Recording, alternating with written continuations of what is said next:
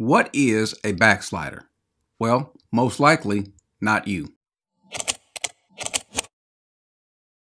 A term that comes up often, and there's a reason why it comes up often with certain people. I'll tell you who the certain people are in just a second, but that word is backslider, backslider, or backsliding. What does it mean to backslide? What is a backslider? Well, the truth of the matter is, the word is not even found that often in the Bible, except if you use one particular translation, that is the King James Version, possibly the New King James Version. But even in that, the term is only found a few times, even in the King James Version. So I want to go to the screen and let's look up all the different times that just in the King James Version that it shows up. Here we have in Jeremiah 3 a couple times, verses 6, verses 8, verses 11, verses 12, verses 14, verses 22. You think we ought to look at Jeremiah 3? We should. Jeremiah 8, uh, Jeremiah 31, Jeremiah 49, and then in Hosea 4, 16, 7, and 14, 4. Now, the reason why that we ought to look at those passages, one, they mean something. It's something that God is trying to say that's only found in just those two books. Jeremiah, and Hosea. Well, what's going on in those books, and why is it that I could say that it's highly unlikely that it's you? Well, backslider or to backslide, it's only applied to one people. That is Israel. He calls Israel a faithless nation. Not that they ever had faith, but he chose them, took them out of the land of Egypt, brought them into their own land, and their hearts have turned away from him. And so let's go look at some of these passages and let's see what's happening.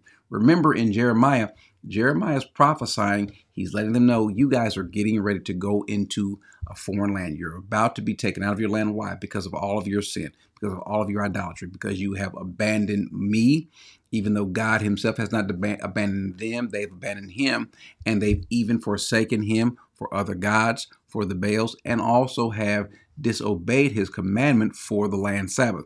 And so let's go to Jeremiah chapter 3. Let's start in verse 6 and let's read what it says. He says, Then the Lord said to me in the days of Josiah the king, Have you seen what faithless Israel has done or did? Now, if you notice, the word that was used was the word faithless because I had the NASB up there. Let's go to back to it and let's kind of switch it around. We're, go, we're going to spend more time in the King James Version. So let me just go ahead and replace the, remove the Hebrew out of the way just for just a second and bring in the King James Version. And so now we see Jeremiah 3 6 of the King James Version. It says, uh, Hast thou seen that which backsliding Israel. So now the word here is backsliding. Well, why is that important? Well, let's go ahead and bring the, the Hebrew back in. And so let's look at what it says in the Hebrew. The word for backsliding uh, is this word shub. The word for shub in Hebrew, what it means is to turn or to return. And so he says that Israel is a nation that has turned away from him, and he's asked him to return. And so you're going to see this word or different derivations of it, this word shub is going to be used. And so the Lord has said unto me in the days of Josiah, Hast thou seen that which backsliding Israel has done? She has gone up in every mountain high under every green tree, and there hath played the harlot. As a matter of fact, let's pull it back over to the Let's bring the uh, NASB back over just for the ease of reading because those who may not actually read the King James Version, but I want both of them to be up because I want you to see where where the word backsliding comes in. Verse 7 says, I thought after she has done all these things that she would return to me, but she did not return. And that word that's returned is the Hebrew word that's also used for backsliding, turn or return, the word shub. So, so that you can see this, I want you all to see this as well uh, the word for that she would return is this Hebrew word here, shub, to return. So I just want to make that kind of make that clear so you guys can see that. So when we see the word turn or return or backslide or in some cases faithless, you'll see this word shub. Now there's another word that's also used as well. We'll get to that in just a little bit, but I thought that after she had done all these things that she would return to me, but she did not. And her treacherous sister Judah saw it. Now we see that Israel has been divided into two uh, nations, basically. You have the northern kingdom and the southern kingdom. All of this is made of Israel, but all of them are going to be taken into captivity. All of them are going to be taken out of the land. Remember, Jeremiah is prophesying that this is what's going to happen. He's going to prophesy something else very important to Israel in just a little bit. But you've got these false prophets that are coming saying, no, just as false prophets tend to do, to prophesy something good that no, we're not going to go into captivity. God's going to bless us and take care of us. And then Jeremiah says, no, these are false prophets that want to tell you good things, but you're going to this land. get comfortable, uh, marry, have children, because you're going to be there for a while. How long? Well, for 70 years. But this is what he's saying. And so this is the whole backdrop of what all is happening. Verse 8 And I saw that for all of her adulteries of faithless Israel, I had sent her away and given her a writ of divorce.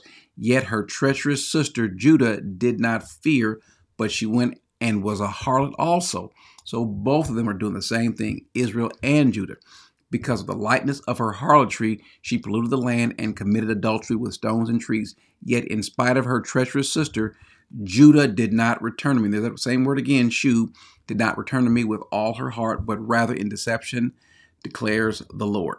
Now, notice what he says, verse 11. He says, And the Lord said to me, Faithless Israel. Now, the King James Version says, Backsliding Israel. So, faithless or backsliding Israel, that is, they have no faith. It's not that they once had faith and then left the faith. No, these people here, they don't have faith, even though God has chosen them. But notice what he says faithless Israel has proved herself more righteous than treacherous Judah.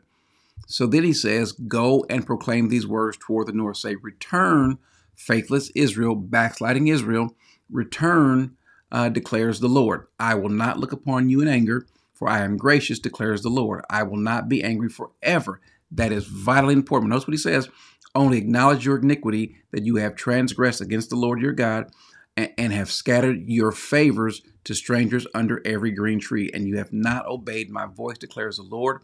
Return, O faithless, there's a word again, O faithless or backsliding children or sons, declares the Lord, for I am a master to you, and I will take you from one, take you, take you one from a city and two from a family, and I will bring you to Zion. So we see God is declaring to Israel, You have turned away from me, return.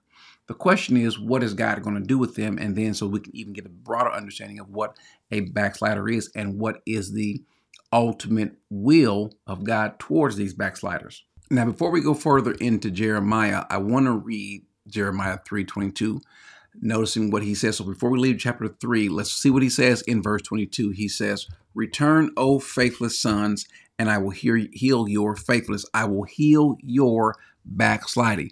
How is he going to do that? Well, that's the interesting part, and that's why I can say that there's a future even for the backsliding Israel. Again, notice he's only using this term towards Israel. The word backsliding comes up again in the King James Version, but we'll look at it in the NASB as well, but also the Hebrew. This term comes up again in Jeremiah chapter 31, which is vitally important for the nation of Israel. Notice what he says in verse 22 How long wilt thou go, O backsliding daughter? There it is again. So, O, some versions might even say, O faithless daughter. So, what is it, what's the word that's used here? The Hebrew word that's still used here is the word shuv. It is still faithless or backsliding, but it's that the one that is turned away. For the Lord hath created a new thing in the earth. A woman shall compass a man. Thus saith the Lord of hosts, the God of Israel, as yet they shall use this speech in the land of Judah and in the cities thereof, when I shall bring again their captivity. The Lord bless thee, O, o habitation of justice and mountain of holiness. Now, I want you to see where he's going with this because if you're familiar with Jeremiah, you know what happens in chapter 31. So let's drop down to verse 27 and notice what he says. Behold, the days are come, have come, saith the Lord, that I will sow the house of Israel and the house of Judah. And what does he call them? Treacherous, deceptive. He's called them backsliding. He says, I will sow with the house of Judah and Israel, with the seed of man, and with the seed of beast, and it shall come to pass that, like as I have watched over them to pluck up, which he's done, uh, and to break down, and to throw down, and to destroy, and to afflict, so I will watch over them to build and to plant, saith the Lord. Here it is.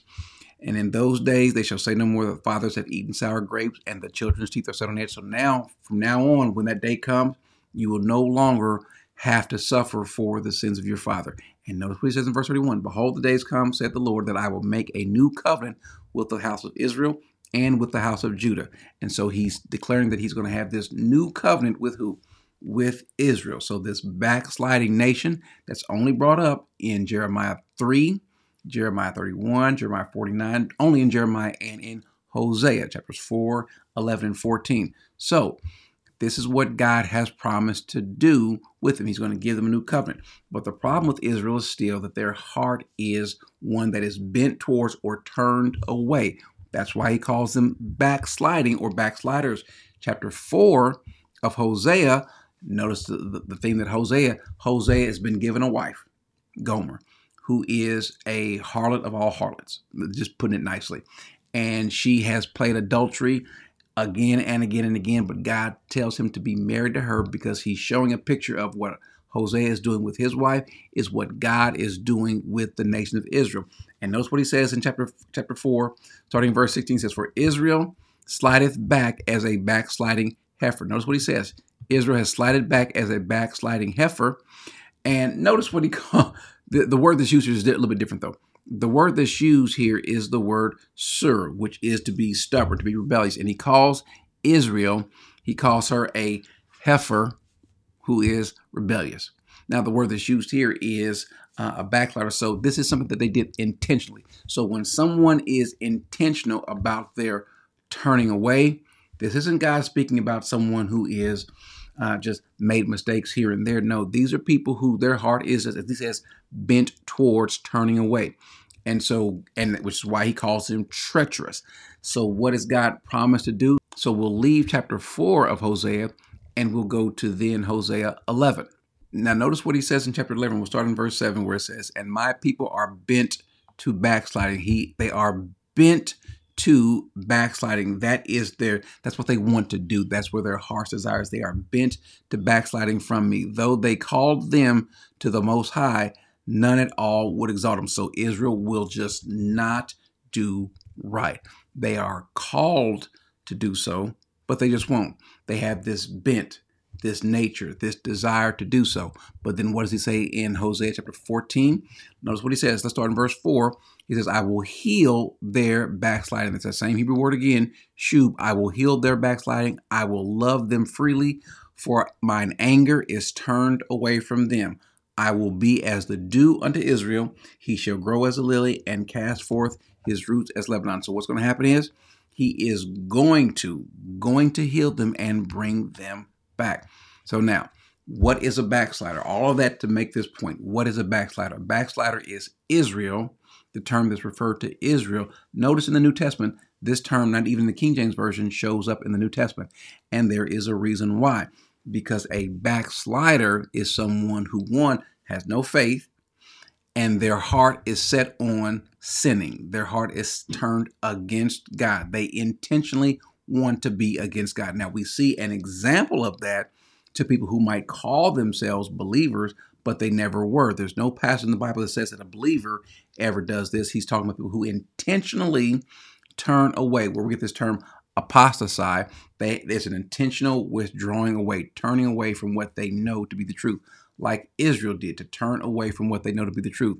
So now notice what God's intention is and what he says. And this is why you cannot be a Christian and then backslide. Even in even in using the term, if you want to make this term apply to us, even even to Israel, the New Testament, or anyone, you cannot be a believer, meaning that you have authentically uh, placed your faith in Christ. He is now your Savior. The Holy Spirit in your heart. It is impossible to backslide. Why? what does God say his remedy is for the backslider or the backsliding nation in Israel in this case? He says, chapter 36, starting in verse 25 of Ezekiel, he says, Then I will sprinkle clean water on you, and you will be clean, and I will cleanse you from all your filth, your filthiness and from all your idols. Moreover, I will give you a new heart and put a new spirit within you, and I will remove the heart of stone from your flesh and give you new hearts. So what was Israel's heart problem? That their heart was bent towards backsliding. Their heart was bent towards turning away from God. So, what does he say he'll do when he puts his spirit in them? What will they do? He says that I will put my spirit within you and cause you, asa, that means to make, to do, to cause, to cause you to walk in my statutes, and you will be careful to observe my ordinances. As a matter of fact, while we're there, let's go to Ezekiel chapter 11. He says the same thing there, and he gives even more clarification. He says, And I will give them one heart and shall put a new spirit within them, and I will take the heart of stone out of their flesh and give them a new heart of flesh that they may walk in my statutes and keep my ordinances to do to do good to them then they will be my people and I shall be their God. So all of that to say this that to be a backslider one you must be Israel.